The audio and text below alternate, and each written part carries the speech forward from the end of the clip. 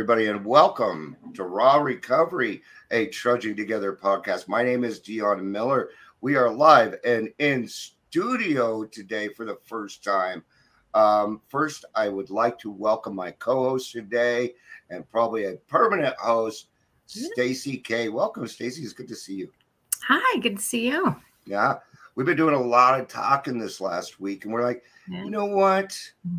we need to sit down and, and you know because we're we were just talking i'm like these are podcasts we just need to start doing this a- and do it live so we decided today that we were going to talk about uh, searching for your higher power yes. um, which um, you know i thought uh, at first thought i'm like that's a great topic but then it came a little bit challenging which i can appreciate um, because when things are challenging we tend to look into it a little bit more.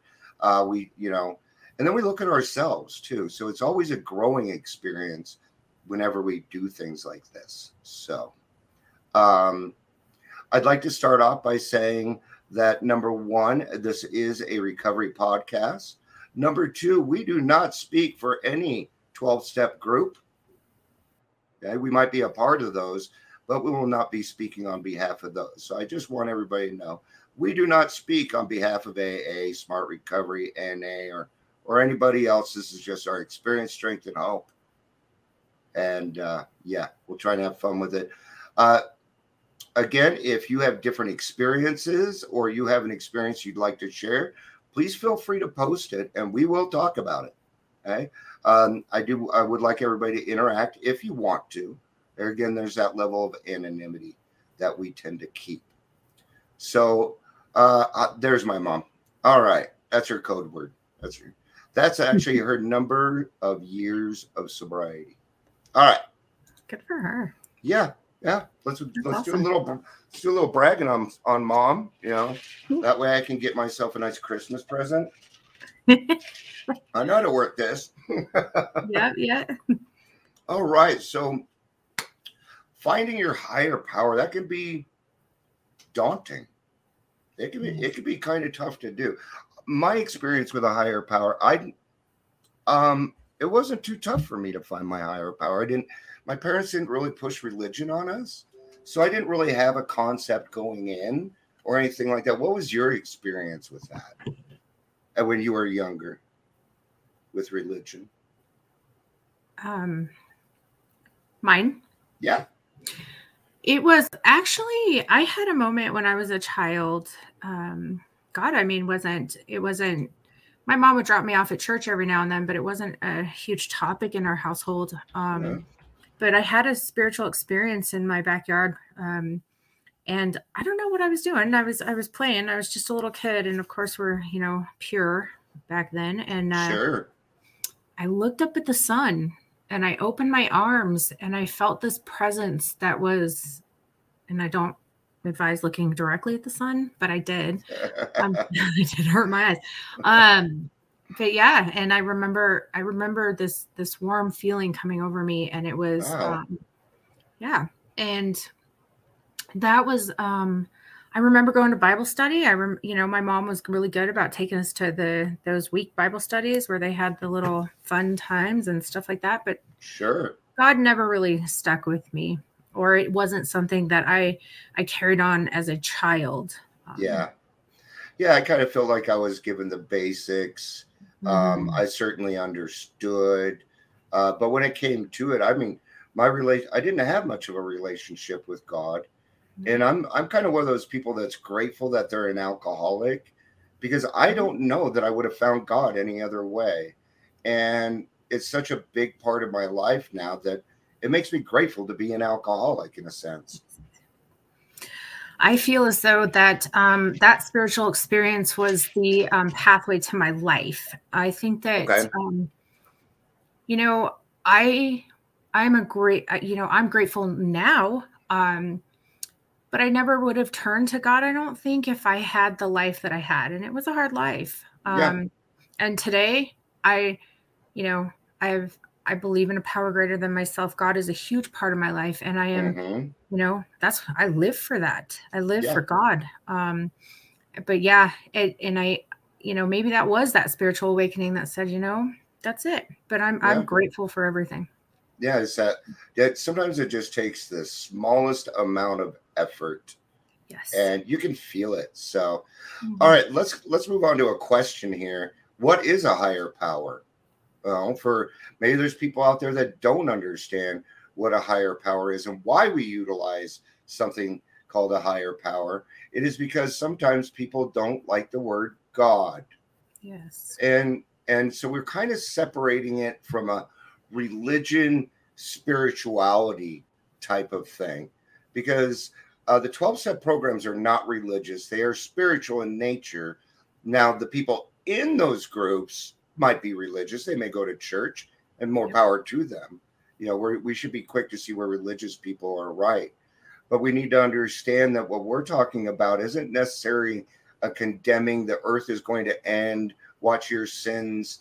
Um, you know, uh, my higher power has never once tested my sobriety. He, do, he doesn't do that stuff with me. No. Um, and a higher power is a guide. Um, I think we could probably even talk about loneliness before we talk about a higher power. You know, that loneliness that all of us feel before coming into the program. Um, well, and we all feel it. So when we come in here and we find that we're not terminally unique, and um, we're seeing other people that are grasping uh, something, and we and we see them doing it, and we want a part of it, you know, because we want that loneliness to disappear. Where what are your thoughts on what a higher power is? You know, I think that what I appreciated about the program the most was that I got to, you know, it was my own concept because I mm-hmm. coming from where we come from, whether it's the streets, drugs, alcohol, I don't know that we're, you know, hanging out with a higher power the whole time and, and praying and everything else. Um, I feel as though, um, you know, getting that that freedom to to start a relationship with a higher power slowly because yeah. recovery is overwhelming as it is. Like, mm-hmm. please, I have to quit drinking, drugs, and all this stuff. No, and I was, you know, there was something that I heard that was really, really um, like this aha moment, and it was like, thank God that it's, you know, came to believe like we get time yeah. to yep. to build that relationship it's exactly i came to believe you know um and that is that is that opens the door to start that relationship with that higher power. Yeah.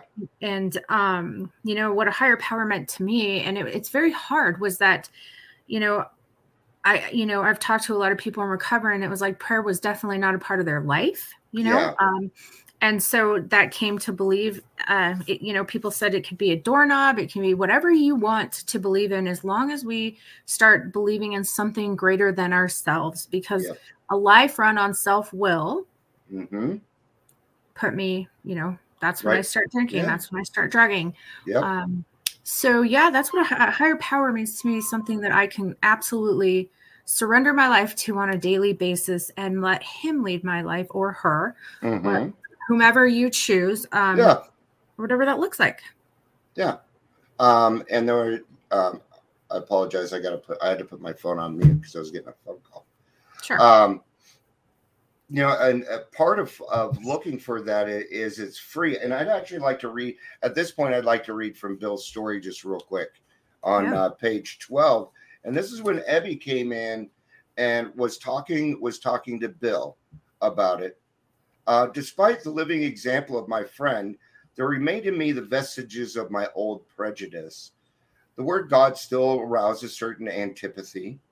When the thought was expressed that there might be a God personal to me, this feeling was intensified.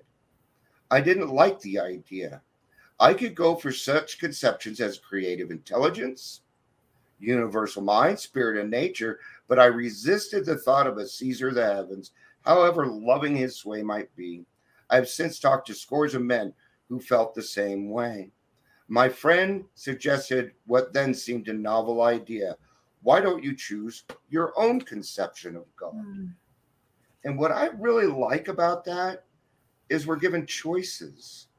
We're Yes. you know, and and when we're given actual choices in the program and we make that choice, it intensifies, and that's what he's talking about. That you feel closer, you feel closer to your maker because you've made that decision and and now now that's a beginning. And they talk about that um, a lot in step two. Yep. You know? Um, total dependence on a the only way to total independence is total dependence on a power greater than yourself. That's what they say. You know, um, I think that the the coolest part about step two is as um, you know, sponsoring is we don't know. Everybody came from different places and we don't Yeah. know what happened or what gave them biases towards a higher power. So Yeah. you know breaking through the ice of of what biases do you have you know whether it was religious um you know religion that that you know or an experience that we've had at church that Sure. that turned us away human human error that could have turned us away from from something greater than ourselves right Yeah. and Yes. i think that that you know working step two is is getting through those biases so it's not a slippery slope anymore Mhm. that you know it you know it puts that sunlight of the spirit on there so we can um so we can step into that sunlight so we can start believing in something right Yeah. Yeah. Yeah. Well, and even though I didn't have much of a religious upbringing, I did have I had my own biases. Yeah. Sure. You know, mm-hmm. and I took those straight. You know, what I did is I just, you know, if you want to go look at something and find something wrong with it, you're going to find it. You are. Right. You just are. So I had to start laying those things aside, just like we were talking about yesterday or earlier yesterday. Um, and then, of course, it just left my mind. My mind's in a lot of different places. Uh, I apologize. Yeah. Um, yeah, that just it just slipped.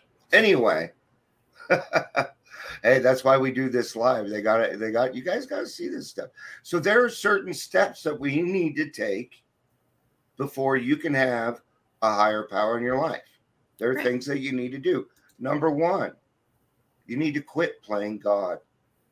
yes You know. So what are some of the different ways we would play? Well, gosh, you know, if I wanted my alcohol, I wasn't above throwing myself on the floor like a No. little three-year-old. No.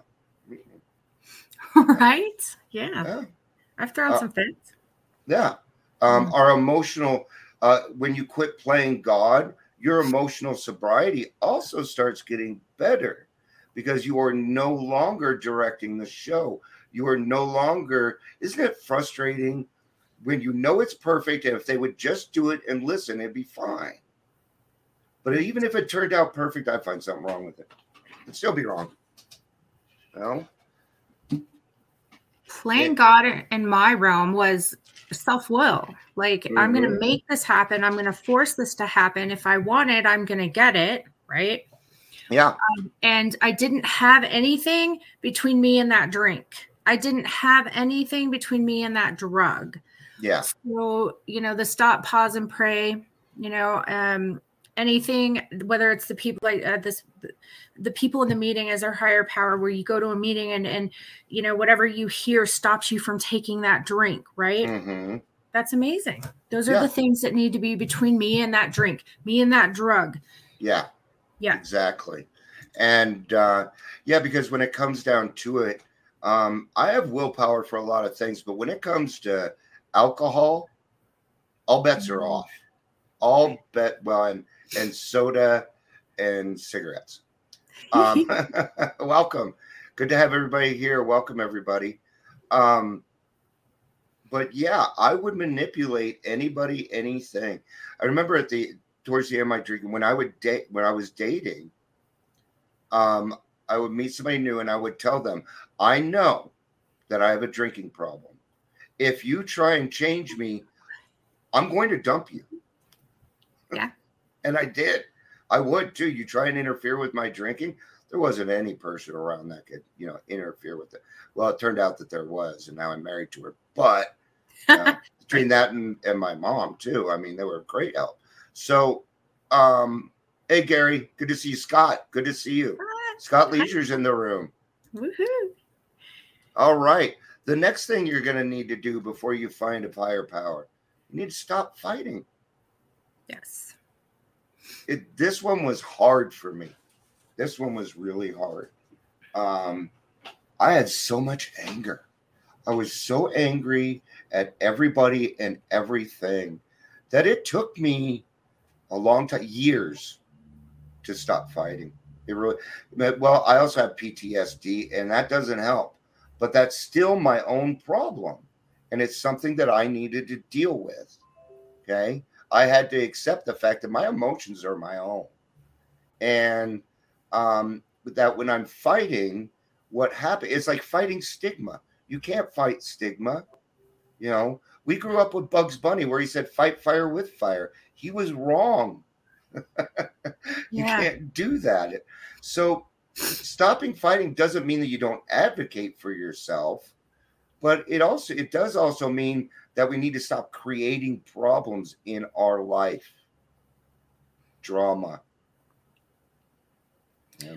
Stop fighting, surrender, right? I think that was my biggest question. It's surrender. Do I always have to be right? You know, um, do I have to prove that this person is wrong? Like, and and do those things. Um, but I think that the biggest question that I had was surrender. How do I surrender Yeah. these things? And as soon as it was, we stop, you know, we cease fighting anything or everyone. Well, I, I started minding my own business. You know, uh, that was hard. You know, I, I wanted to engage in the drama, gossip, all Yeah. those things.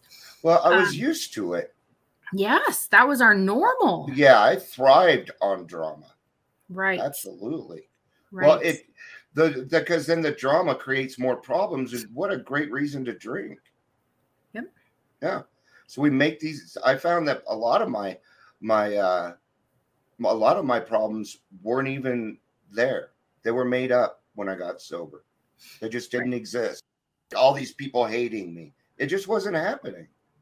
And I would I would convince myself of otherwise. Here comes here comes a, a big one. And I like this one. The next step is going to be acceptance and awareness. Um, we utilize acceptance in the first step, okay? But now we're going to use acceptance as a different form. It's going to so acceptance is the key, okay? But acceptance is the key to willingness. So, and willingness is what we need in order to start bringing that higher power around. Um, I like this one. Go ahead. Yeah, overthinking creates problems that aren't there, Scott. Yep, That's a huge one. it is. Yeah. And I think, and I think if uh, we asked everybody that does that to raise their hand, um, we probably get a lot of hands. You know, Oh, So- yeah.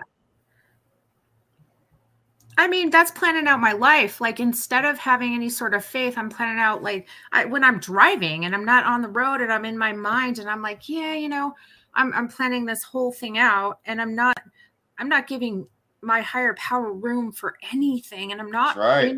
I'm not present. I'm not paying attention to what I'm doing because I'm so busy planning everything around me Yeah. right and this is this is how it has to be and that's my overthinking that creates all of those problems all Yep. the wrong men all the you know drama instead of saying yeah i'm going to turn this over to my higher power today yeah. or just staying present on what's happening in front of you Mm-hmm. Uh, You yeah, know? and that that comes back to a day at a time. right know, Um, I was just in a I was in a meeting and people are saying, yeah, after 30 days, I that 30 days, I, you know, I relapse. You know, always at 68 days, I relapse. Yeah. And stop counting. Then Yep. stop counting. This isn't a qual this isn't a quantity Quantity. program. It's a quality program. It is not a help your it is not a self-help program. It is a help yourself program. help yourself Self-help books don't work unless you know how to help yourself. Right That's what they're. So I'm going to go to page 45 here. I thought this was a good uh, connection to what we were talking about. Uh, lack of power, that was our dilemma. We had to find a power by which we could live, and it had to be a power greater than ourselves, obviously. But where and how were we to find this power? Well, that's exactly what this book is about. Its main object is to enable you to find a power greater than yourself, which will solve your problem. That means we have written a book which we believe to be spiritual as well as moral. And it means, of course, that we are going to talk about God. Here, difficulty arises with agnostics. Many times we talk to a new man and we watch his hope rise as we discuss the alcoholic problem and explain our fellowship, but his face falls when we speak of spiritual matters, especially when we mention God, for we have re- reopened a subject which our man thought he had neatly evaded or entirely ignored. I'm just going to read the next line. We know how he feels. Yeah, we do know how they feel. And that's the difference. That's the difference. Um, for me, real for, for me, real quick, um, I was a chronic relapser and I'd gone in and out of the rooms in 22 times in two years. And hmm. finally, a man approached me, Paul. You probably know Paul, Paul A. Can't give his last name. He approached me and he said, Dion, you know what your problem is? I said, No, I don't. and he said, You don't have God in your life. I'm yeah. going to introduce you to God. And that's what happened to me. A man came up and said, Dion, enough. Enough is enough. You don't have God in your life. And I'm glad somebody did that because I wasn't hearing the part when we were reading where it says if you're if you're willing to sponsor because that was new to me. It used to be if you're looking for a sponsor. And that confused me in the beginning. Of course, that's also a good way for me to prove my point because I'm like that. Sorry. so that was the beginning for me. And what he did, he said, Dion, this is God. God, this is Dion. And then he left us alone. That was it and then it was going to be my it was going to be between me and god from that point you know what um i think that that brings up the um once you take the drink out of my hand you mm-hmm. know mm. that was my solution mm-hmm. to everything and now i still have the problems now i'm just sober yeah right so um yeah that was a and i was also a chronic relapser and i did have um honesty was my problem because i couldn't wrap my brain around the fact of of um of complete honesty i didn't know mm-hmm. what that mm-hmm. was i was delusioned but uh, yeah. i think that the the clarity that you get from from step two of the um you know and and building that relationship with your higher power you know it clears out it clears out that I like to it's kind of like the you know that debris that that kept come you know that we kept drinking and mm-hmm. putting in our bodies and all of a sudden you know we have some clarity and we're able to see better and we're ever you know we're able to um, learn tools um, mm-hmm. like the prayers um, that are mentioned in the book or anything that um, whatever works to come between you and that drink and to help you start um, taking responsibility. Yeah. Taking yeah. responsibility because that was my that was also the thing. I didn't want to take responsibility. Yeah. You know, and and God helped me, you know, or my higher power. I do choose to call him God. Um, it helped yeah. me to know that I wasn't alone. I just couldn't see him. Yeah. Or or that higher power. So yeah, I get that. Yeah. Yeah. Well, and and that's where, you know, where we discover uh humility in its in it in its actual meaning Yes. Um, which which is which is actually the next step. You got to ask for help. That's right. You got you got to ask God for help. So that means you got to pray. All right. And that doesn't mean that yet I don't do it thee thou oh God my I I don't know. I talk to him like I do everybody else. Um, but when I have that time, it's just between me and him. Okay. Because um, it's a personal relationship. Okay? This is a personal relationship. And it's going to be, for me, it was the first successful relationship that I have. Mhm. And then I can base other relationships off of that. And I learn how to love appropriately, which is the big word there appropriately. Right. Um, and I am that kind of person. I love everybody. Um, but your relationship with your higher power is between you because God could be, God is everything to me. So therefore, He can supply your needs, even though they're different from mine at the same time. Even while we're sitting here talking, He's taking care of both of us and all of our friends over here at the same time. You know, I the this personal relationship, I think everybody has their their own relationship with God and it's absolutely awesome whatever that is. But I remember human I would the envy of humans, you know, the the um I wish I had that, you know, um I had some guru humans, you know, um, Mhm. spiritual leaders that I put my faith into instead of my higher power. Um, and that can lead you the wrong way because sometimes it's the the you know the the opinions or the um the advice of others you know Mhm. that um can get confusing because everybody has a solution Sure. right i'm willing to listen but um i was grateful and it was lonely at first but i got to build a very um solid relationship with my higher power and i put Mhm. everything into it because after the humiliation of not being able to stay sober and i didn't even have a drinking problem in my brain Yeah. um I was like, all right, God, you got this. You know, I didn't hesitate to get on my knees because that's what I was Mhm. told to do is get on my knees and and give it to God, give it to that. And you know, I, I'm thankful that you know my higher power didn't take everything at once because Yeah. I couldn't have handled that.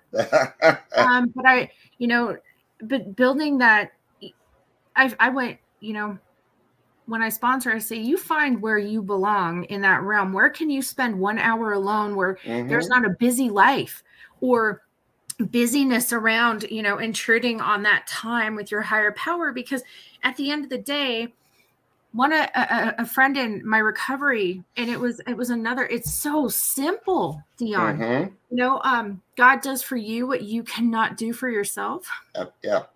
Weird how simple is that but i'm an Mhm. alcoholic and i like to complicate it and i need to write a book about it and everything else it's, it was just that simple. God Yeah. does for you what you cannot do for yourself. So Yeah.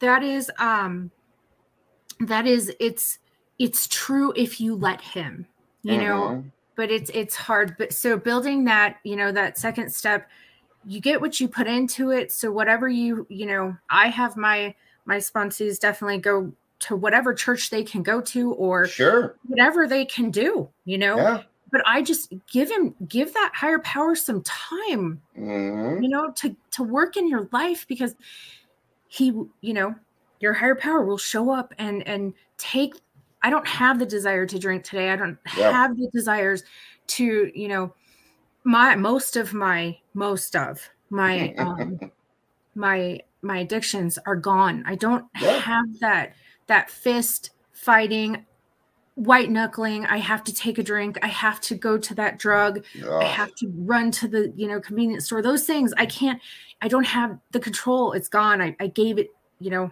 I, I did what i could do. So that you know that time that you build that personal relationship is a hundred percent important. Yeah. You know, um, hi Robin, good to see you.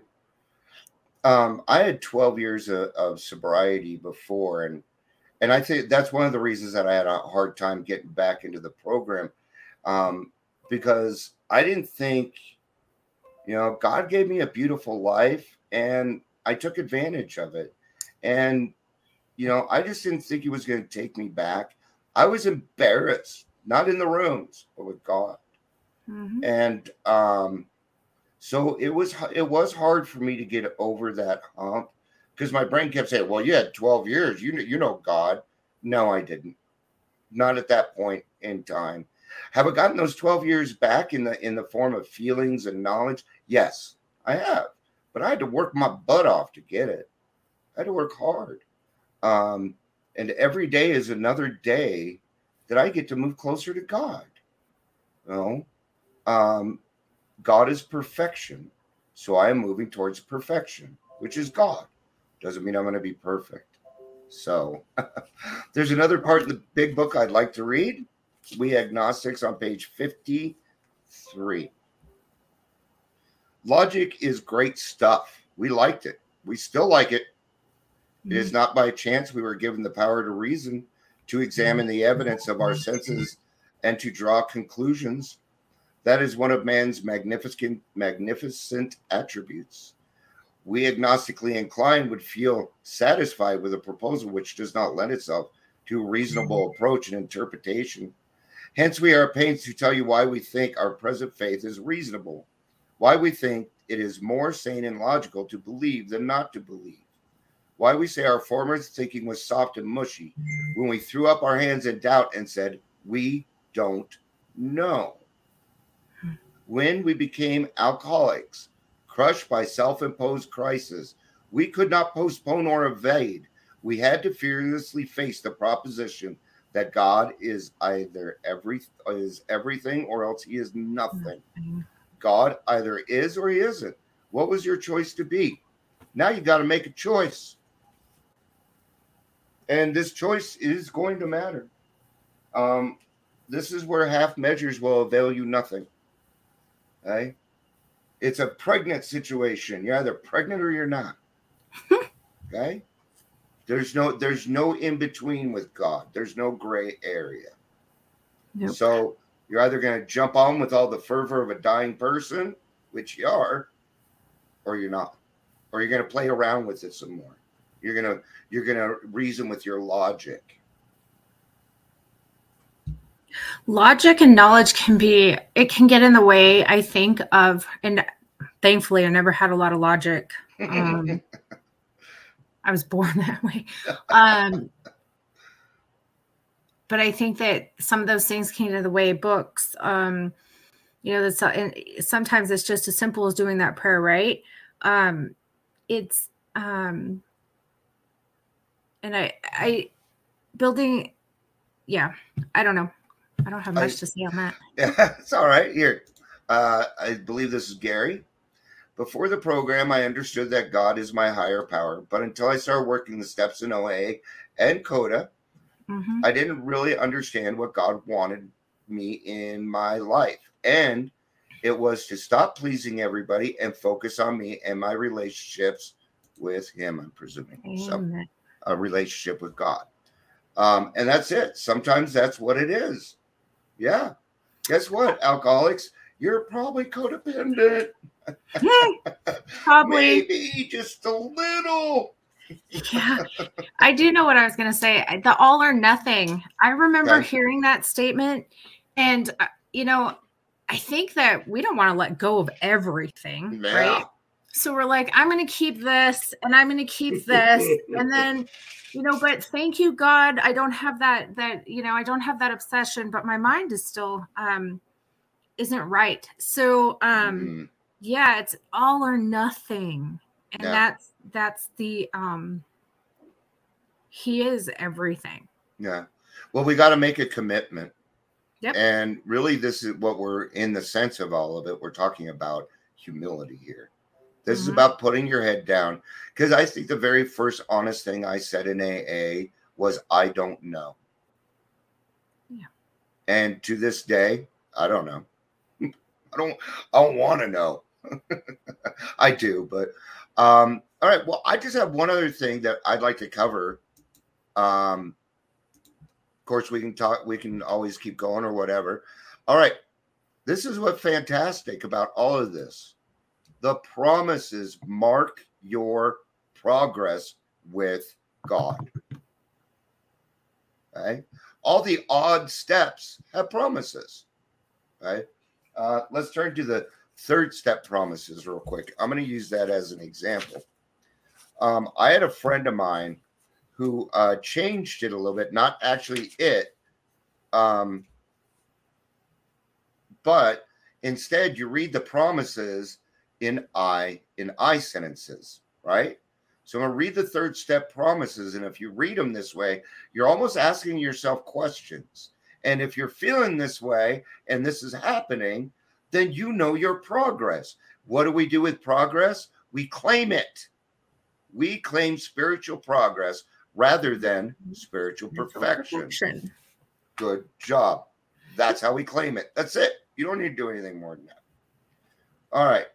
When I sincerely took such a position, all sorts of remarkable things followed.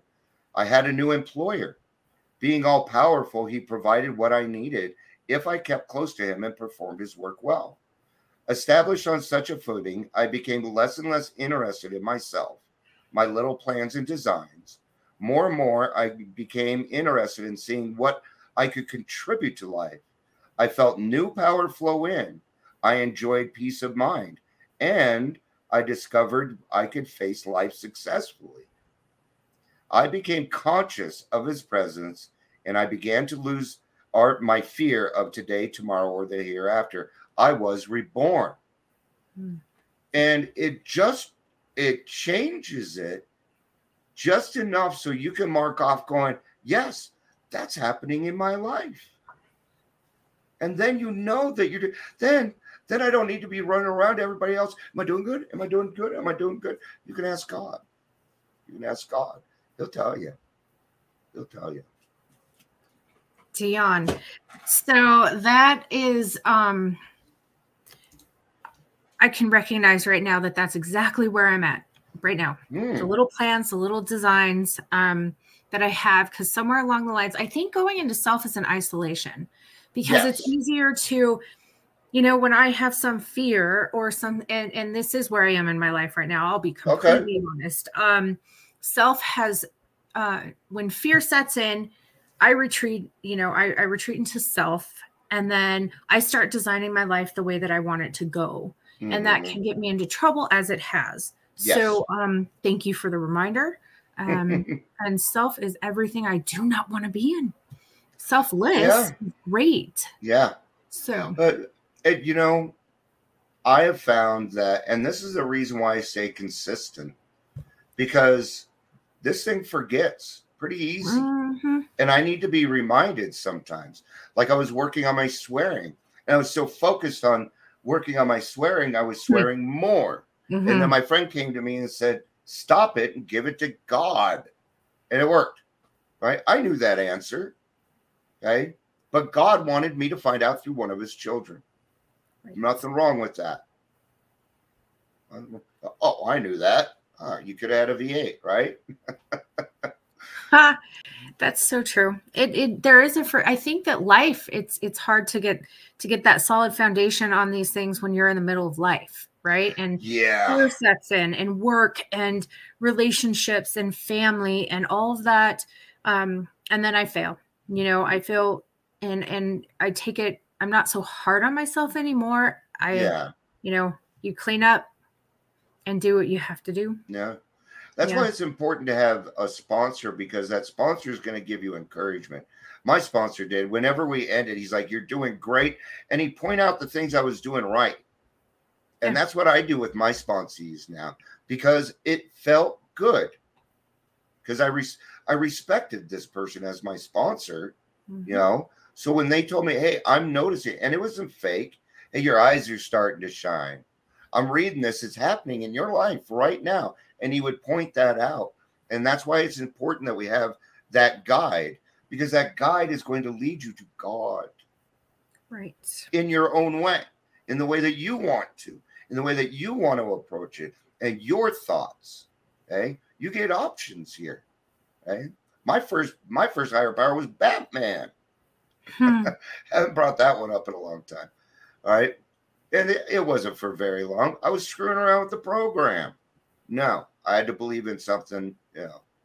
Um, I do like to point out that in the 12 by 12 in the 11th step, it does say that even even the people that call their home groups their higher power soon call God by name. yes. Okay. Group of drunks is great, but only for a little bit.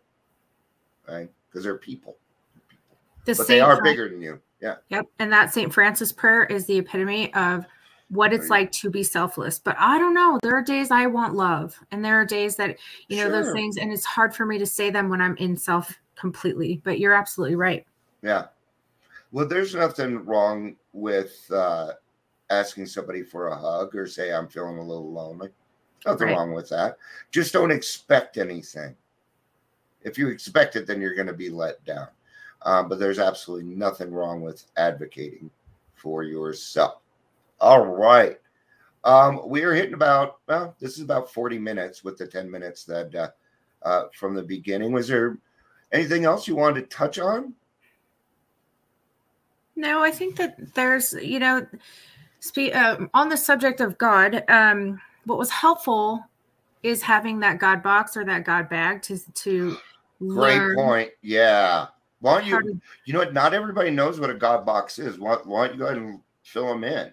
well, for women, you can decorate them as pretty as you want, and it becomes a really bubbly thing, or, um, you know, whatever it is in desperation. Um, but I was, I was, you know, you get a bag, you get a box, you decorate it, and you start writing all your problems and you give it to God. And if that's your God for for that day, you know, you put them in there and you don't do anything with them. And you know, I pray, I would pray for you know those things to go away. And and then some days you, especially in the beginning, you go back and after you do those steps and how a lot of those problems are gone. yeah, you look at them, you're like, oh my God. Yeah. Yep. They're gone. But that's when we get to go back and and it's amusing in a way, And we get to chuckle at it because we've made progress. Um, what's great about what's great about God boxes is they teach you let go and let God, and delayed gratification. I hate I hate that whole line, but it's true. I work on delayed gratification all the time. Um, yeah, I'm just not feeling it right now. Well, let's give it 10 minutes. You know, something may change in that time. But I always give myself space, a little bit of space in there, a little bit of time to think on something just just a little bit longer. And I can usually I usually get a different result because of that. You know? I think the other thing for you know for it, it's really hard because we come in from hard places to imagine that there is something that could love us that unconditionally. So Yeah. when I hear that, you know, I've heard God is love, and I'm like, yeah, you know, I'm not, I'm not hundred percent that I'm convinced because if God isn't gonna, if I'm not, if I'm not gonna love me, I'm not gonna let God love me, right? Because it's really hard to accept love, um, because that's not where I came from, and Yeah. and let alone, and now, you know, my my mantra is is is to give love, not expect love Mhm. um and then and for my higher power to give me the to love somebody back to health to love Yeah. somebody to to sober you know and that definitely comes from my higher power Yeah, you know, um, and that, that those are some great points. I'm more delayed. Uh, yeah, yeah. See, we could go on the on uh, a lot of this for quite some time. Um, you know, the I think what it comes down to is, you know, for me, because I don't think God's entirely love either. He's everything you know? Um and i'm a person with varied emotions. And so he can be those things. When i'm feeling down god's there for me. He comforts me. He doesn't solve my problem. He'll give me the answers to solve my problems okay he'll get, he will definitely do that but i've got to solve my problems on my on my own or with a guide. That's connected to god so stacy this was a lot of fun you're awesome this was a lot of fun. Um, could he get down before I hurt you? Um, yeah, so we will definitely be doing this again. Thank you, everybody, for being here. It was new for me too. I haven't done a podcast live yet, so um, you know, for all my uh, rewatchers, um, thank you for being here. Uh, everybody that was here, we had a lot of people here today. It'd be hard for me to get through them all. Mom was here. Gary was here. I I don't want to miss out on something. Now I'm gonna do it anyway. Ingrid was here. My mommy was here. Um, scott leisure Scott was Scott Leisure was here. Robin was here. Gary was here. Um, Jim B was here. All right, and of course you and me. So thank you everybody for being here. Um, kind of kind of kind of wrap up. Uh, this has been about uh, searching for your higher power, And, you know, when it comes to this, just take it easy on yourself. Be kind to yourself. It's okay to take a little bit of time. Like Stacy had said, we come to believe. That means it's going to take time. And I don't know about anybody else, but if God would have given me a burning bush at the beginning, I would have just thrown water on it. Mm. I wouldn't even have been able to notice it. So, um, thank you everybody for being here. This has been Raw Recovery, a Trudging Together podcast. I love you. Peace out and have a day.